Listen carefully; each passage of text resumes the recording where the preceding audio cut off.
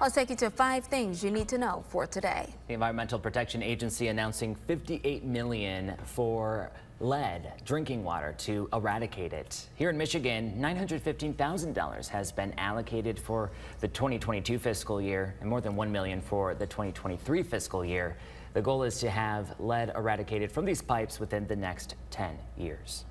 The Flint City Council interviewed applicants for the 7th Ward vacancy in a special meeting. Allie Herkenroder officially resigned from City Council at the beginning of this month. It starts at 5.30. This will be at the Genesee County Administration Building.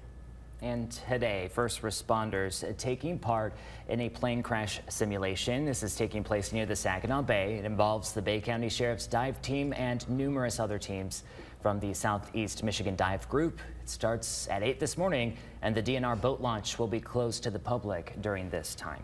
General Motors is bringing an electric car back to the market. GM introducing this new model of the Chevy Bolt EV. There's no timeline for this new release. The announcement comes a few months after GM did decide it would end production of the Bolt EV. Labadie Rib Fest is returning to Bay City for tomorrow.